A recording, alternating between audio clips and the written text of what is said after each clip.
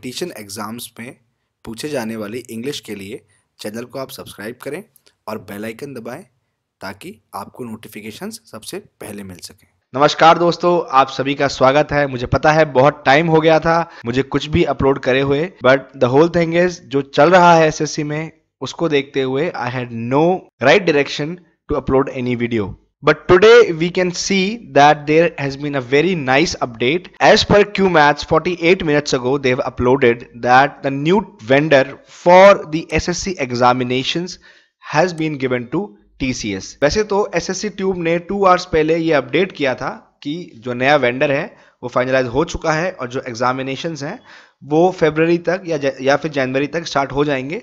But कौन सा vendor था, ये उन्होंने अपडेट नहीं किया था। बट क्यू मैथ्स यहाँ पे एक हिंट दे रहा है कि जो नया वेंडर है दैट माइट बी टीसीएस तो हमारे लिए एक ये काफ़ी अच्छी चीज़ निकल के आती है, क्योंकि देखिए टीसीएस की बहुत अच्छी रेपुटेशन है। एक्सपेक्टिंग कि अब जो एग्ज़ाम्स होंगे, वो सही तरीके से होंगे।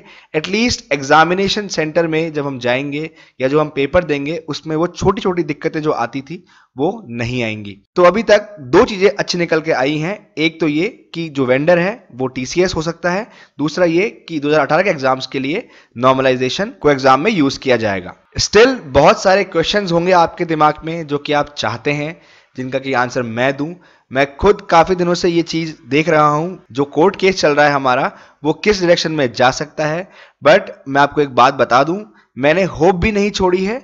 And I am still preparing for the worst मैं खुद पढ़ाई कर रहा हूँ वापस से। मेरे मार्क्स थे 496 but I still know that anything can happen so मैं खुद भी पढ़ाई कर रहा हूँ रेगुलरली और मैं आप लोगों से भी यही चाहूँगा कि आप लोग पढ़ाई ना छोड़ें। आप एक बात को समझिए कि अगर एग्ज़ाम कैंसिल होता है तो एसएससी आपको बहुत ही कम टाइम देने वाली है।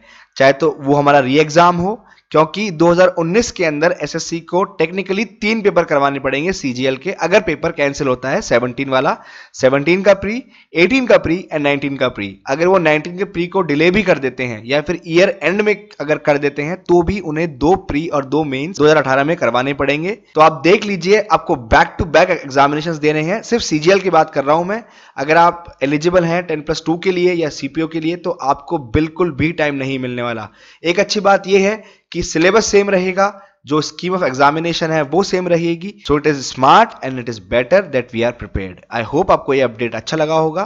प्लीज़ वीडियो को शेयर ज़रूर कर दें and not forget to like the video thank you very much